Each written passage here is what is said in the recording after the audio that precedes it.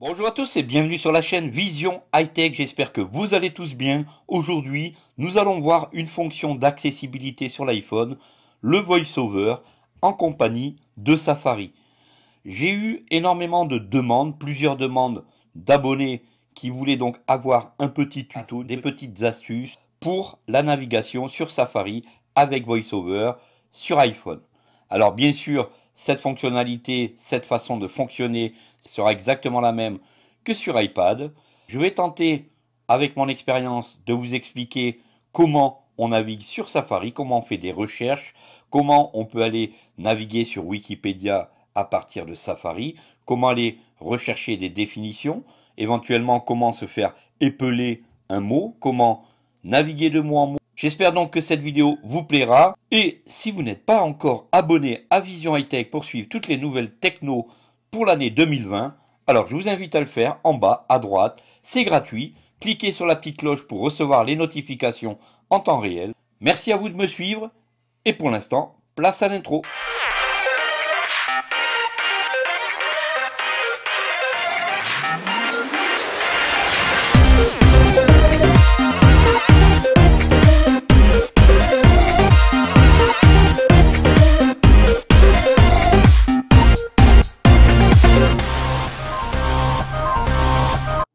Je compte sur les vétérans de l'iPhone. Si j'oublie des choses, surtout aidez-moi dans les commentaires si vous avez d'autres solutions, si vous avez des astuces sur la navigation iOS. N'hésitez pas à les partager, ça fera toujours plaisir à un des abonnés. Peut-être que vous, vous utilisez d'autres astuces, d'autres possibilités de navigation. Donc, n'hésitez pas à les partager. On va naviguer pour toutes les personnes qui vont arriver sur cette vidéo et qui n'ont pas l'habitude de voir cela on va naviguer en mode aveugle, on va naviguer en mode malvoyant sur l'iPhone en compagnie de VoiceOver. On va donc faire des recherches sur Safari et voir si cela est faisable aisément ou pas. Deux possibilités de ouvrir Safari. Soit vous passez directement par l'icône qui se trouve complètement en bas dans le dock, ou vous passez par Siri en lui demandant ouvrir Safari.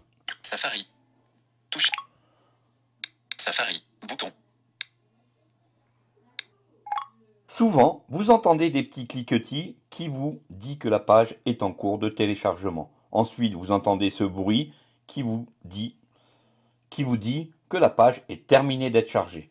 Alors, avec VoiceOver sur différentes solutions, sur différentes avec VoiceOver sur différentes applications, on marche énormément via les bruitages, soit par rapport à la navigation, lorsqu'on pitch gauche-droite, etc. Donc, c'est tout à fait normal que l'on fonctionne comme ça. D'ailleurs, tout à l'heure, on fera une recherche en rideau d'écran. Rideau d'écran activé. Pour que vous puissiez voir vraiment avec un écran noir comment cela se passe. Rideau d'écran désactivé. Une fois que vous avez ouvert Safari, tout en haut, il y a donc la barre d'adresse. Adresse, Larousse, FR. Avec Safari, on utilisera énormément Conteneur, langue, volume. Ce que l'on appelle le rotor. Et le rotor s'exécute avec deux doigts en faisant un petit quart de cercle dans le sens horaire ou inverse d'une aiguille d'une montre.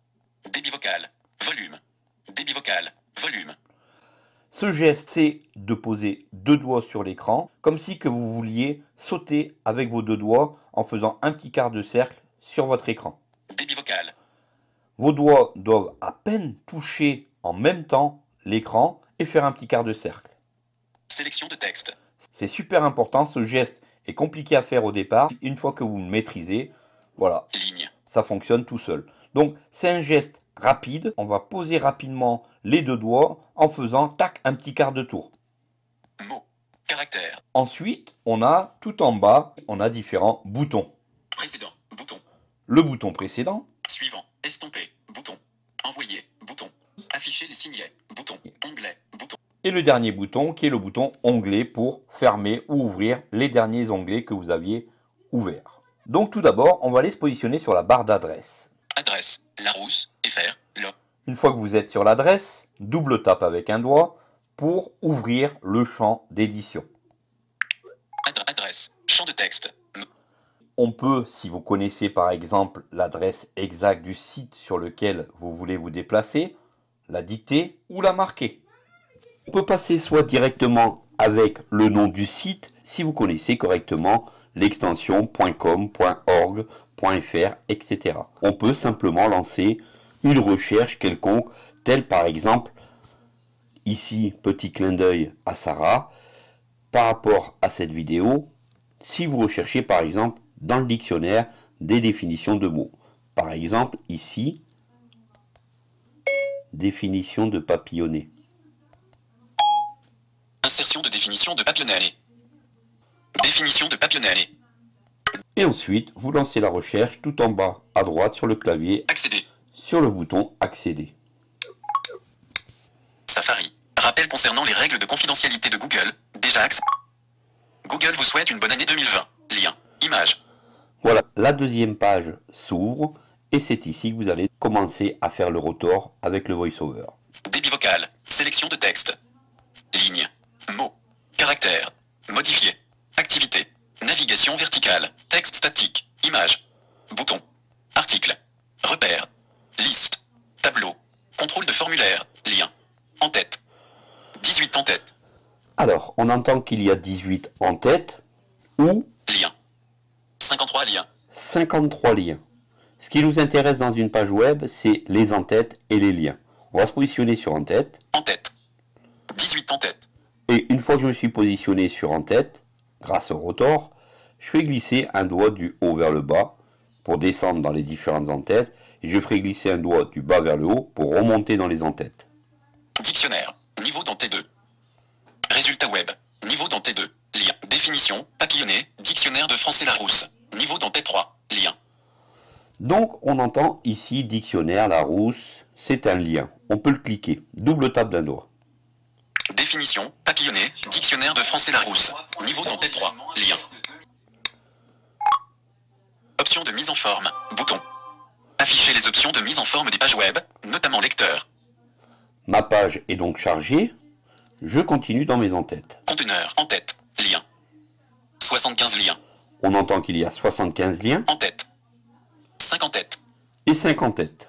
Donc, je descends vers les en-têtes pour voir ce qui m'intéresse. Niveau dans T2. Lien. Bannière. Repère. Papillonné. Niveau dans T2. Définition. Niveau dans T1. Donc, je suis sur niveau d'en-tête 1. Ce n'est pas un lien puisque on n'a pas entendu lien et on n'a pas entendu qu'on pouvait cliquer. Donc, je vais faire lire ma page à partir de là. Et pour la faire lire, je fais glisser deux doigts du haut vers le bas. Définition. Aller d'un objet, d'une personne à l'autre, sans s'arrêter longtemps. Tourner autour des femmes. S'intéresser de façon superficielle à une quantité de choses, papillonner au gré de la mode d'un sujet à l'autre. Voilà donc, on a notre définition qui nous a été dictée sans aucun souci. On peut revenir sur une page en arrière, la page précédente, avec le geste zigzag. Google vous souhaite une bonne année 2020. Tout au long de l'iPhone, vous faites le geste d'une vague, d'un zigzag, qui permet de d'actionner le bouton précédent. On peut par exemple aller rechercher quelque chose sur Wikipédia et se faire lire à partir de Wikipédia. On va le tester tout de suite. On se positionne sur la zone d'édition pour entrer l'adresse. Adresse. Définition de papillonner. Adresse. Champ de texte. Je le valide. Maintenant, je vais faire ma recherche. Tour Eiffel sur Wikipédia. Insertion de Tour Eiffel sur Wikipédia. Ma recherche est insérée. Bonne année 2020. Dissipation. Recherche Google. En tête. Et je vais en bas à droite, tout en bas sur ce bouton, qui est de couleur bleue pour les personnes qui voient encore, Accéder. Point. Accéder. accéder. Je le valide. Option de mise en forme. Bouton. On entend quelques bruitages qui nous permettent de savoir si la page est en cours de téléchargement ou si elle a déjà été téléchargée. On est sur notre deuxième page où on est censé avoir des liens ou des en-têtes. Je vais me positionner sur en-tête Conteneur. En tête. et je descends vers le bas. Et je, des- et je descends vers le bas. Search mode. Résultat de recherche. Résultat web. Niveau dans T2. Visite Tour Eiffel. Wikipédia. Niveau dans T3. Visiter. Lien. Donc on entend que c'est un lien et que c'est cliquable. Je le valide. Tour Eiffel. Wikipédia. Niveau dans T3. Lecteur disponible. Accueil. Navigation. Repère. Donc ici, on entend que on a le lecteur de disponible. Le lecteur permet de supprimer toutes les floritures, toutes les images et laisser que place au texte. Et maintenant, je vais continuer à naviguer dans ma page, soit par lien, soit par en-tête. Lien. Si je me mets 266 liens. 266 liens, puisque dans les pages Wikipédia, il y a toujours des liens. Ici, si je descends, Connexion. Lien. Configuration. À propos de Wikipédia. Avertissement. Lien. Ouvrir le menu principal. Page d'aide sur l'homonymie. Lien. Image. Aide. Homonymie. maintenant, je vais me mettre sur en-tête. En tête. 34 en tête. Et je vais descendre mon doigt au bas. Présentation générale. Niveau dans T2. Historique. Niveau dans T2. Alors, je suis sur l'historique et dessus, je suis censé lire l'intégralité de l'historique sur la tour Eiffel. Je fais glisser deux doigts du haut vers le bas. Historique modifié. Lien. Article détaillé. Histoire de la Tour Eiffel. Lien. Et. Chronologie de la Tour Eiffel. Lien. Contexte. Modifié. Niveau dans T3. Lien. De Centennial Tower. Et le premier projet crédible d'une tour d'environ 300 mètres, imaginé en 1874 pour elle, exposition universelle de 1876. Lien. Dès la première exposition universelle. Lien. Grec On peut poser deux doigts rapidement pour faire une pause et les reposer pour relancer la lecture. Mission of the Works of Industry of Alienation, Londres, lien. 1851. Les gouvernants s'aperçoivent que derrière l'enjeu technologique se... Voilà donc, le rotor permet en fait de naviguer Conteneur. Langue. Conteneur. En tête. par en-tête, Lien. par lien, Contrôle de formulaire. Par 11 contre- contrôle de formulaire. par contrôle de formulaire, c'est-à-dire par les zones d'édition où on peut changer notre recherche ou refaire une recherche. Tableau. Un tableau. De circuler sur les différents tableaux qui se pourraient se trouver sur votre page web. Liste. Une liste. Puce. Début de la liste. Donc les listes à puces peuvent être repérées directement aussi en se positionnant sur liste. Et vous savez que vous pouvez rajouter d'autres choses à partir du rotor que vous allez trouver dans Réglages, Général, Accessibilité, VoiceOver et Rotor. Liste introuvable. Mot. On peut naviguer de mot en mot, Point. La. Technique. S'améliore. Émission. Encore. Encore. Émission. Donc là, j'entends émission. Si je veux savoir comment est écrit ce mot, je vais me positionner sur Caractère. caractère, toujours avec le rotor. Et maintenant, je peux faire glisser un doigt du haut vers le bas. E. Accent M. I.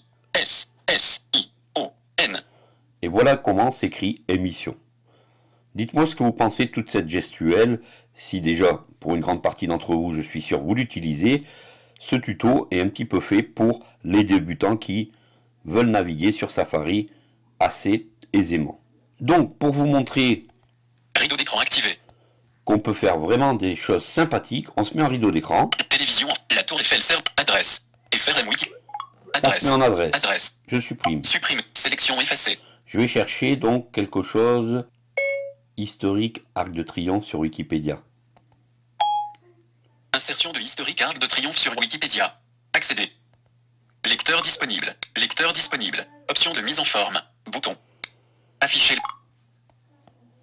Résultat de recherche d'images pour historique Arc. Modifié. Activité. Navigue. Texte. Image. Bouton. Article. Repère. Liste. Tableau. Contrôle. Lien. En tête. L. Arc de triomphe. Image. Résultat de extrait optimisé. L. Arc de triomphe. Niveau dans T3. Maintenant, je vais lire. Arc de triomphe de l'Étoile est un monument situé sur la place de l'Étoile, ou place Charles de Gaulle, dans l'ouest de Paris. Il célèbre les victoires militaires de Napoléon Ier. Sa construction fut commencée en 1806, puis abandonnée. Elle Voilà, donc là, je me suis mis en rideau d'écran, ce qui veut dire qu'actuellement, on ne voit rien sur l'iPhone. On s'est mis en mode aveugle de l'Étoile est un monument situé et malgré tout, on peut lire correctement tout ce que l'on veut à partir du web. Donc le rotor est vraiment le geste important lorsque vous voulez naviguer sur Internet, sur Safari. N'hésitez pas donc à mettre des commentaires si vous avez besoin de plus de renseignements.